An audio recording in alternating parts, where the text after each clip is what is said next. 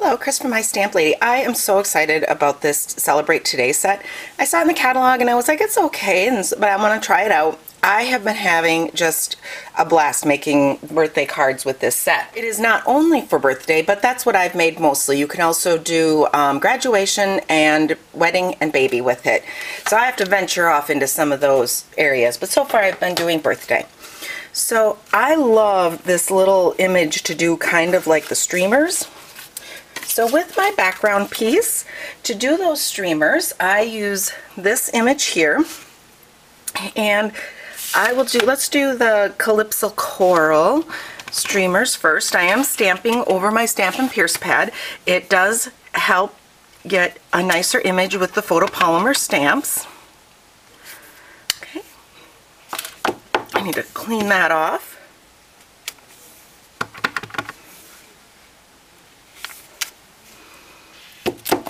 And lastly, let's add some of those Bermuda Bay streamers in there.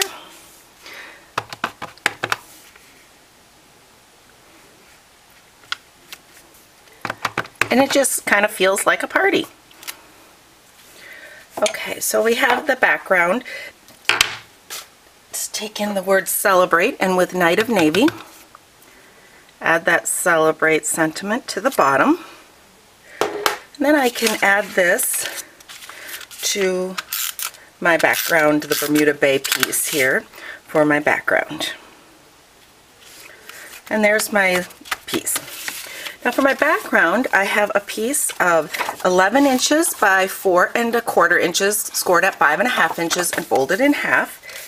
And then I have a piece of designer series paper from the birthday bash paper and it's five and a half inches by one and a half. I can just place that down. If my bottom edge doesn't line up exactly with the bottom edge of my cardstock base, I'll just trim that off after I'm done. Here's a length of the narrow or the 1 8 inch Bermuda Bay taffeta ribbon. Pull in that little mini stapler and just staple that too. You can also use mini glue dots or whatever adhesive. I'm going to do this end first. Whatever adhesive you would like. I thought the staple was just kind of a fun way to attach it. There we go. Then I'll just trim off my extras when I get done. I've put mini glue our dimensionals on the back here. This will give this a little bit of lift and pick up from the card front. Now we need to do our balloon. So I'm going to do the balloon and the tassels. Let's do a crushed curry balloon. And it doesn't matter if I'm straight or not because I am going to cut this out with the coordinating die.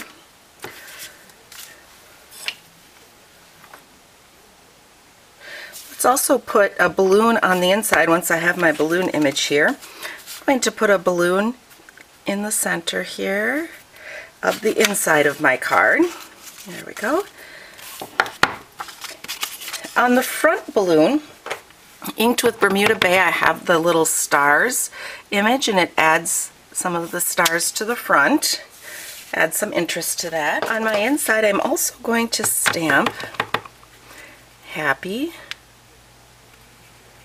And then with Night of Navy, let's put that, there it is, the birthday and that will be my inside sentiment, just right inside there.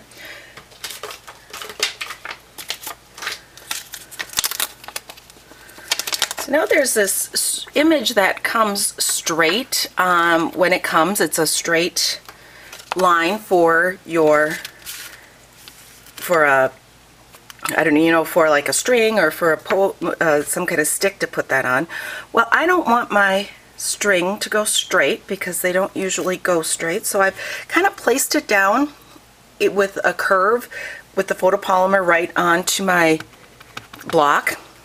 And what's great is that that little curve will, when I pick it up after I clean it off and put it back onto my storage, it'll just go right back to straight. So that's a really nice benefit of the photopolymer is that you can bend those and add a little bow. So there's my inside sentiment.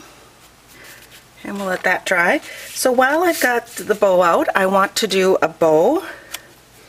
And then I want to do two of the tassels in Bermuda Bay. Okay. So I have my sentiment and the bow and the two tassels. Now there are dies in the coordinating or the and if you get the you can get this at a bundle for a 15% discount. So there are coordinating dies to line up with your little images and there's also a tassel one. So you run these through your die cutting machine and, or your Big Shot which is what I use. Run those through and that will cut all of those out but I've cut some out ahead of time. So let's pull these in and pull in that card base again. Put down some adhesive here. I'm just going to place that up in the corner. You could use some liquid adhesive or a mini glue dot to put down your tassels. So let's put that down. And then the second tassel, I want to put the mini glue dot on the top of it because I'm just going to tuck that underneath like that. And if your mini glue dot is too big to fit behind it, you could always uh, fold it over just to make it a little smaller so it doesn't poke out. My last step is to just trim off that extra ribbon at the top and whatever's extra here at the bottom. Isn't that fun? I just, it's just a fun card. I know that I will enjoy having my kids have this available to give when they go to a party. If you have any questions about what I've done or making the photopolymer kind of curve, let me know. You can send me an email, chris at mystamplady.com. And all of these products are available in my online store at shopwithmystamplady.com. Thanks for watching.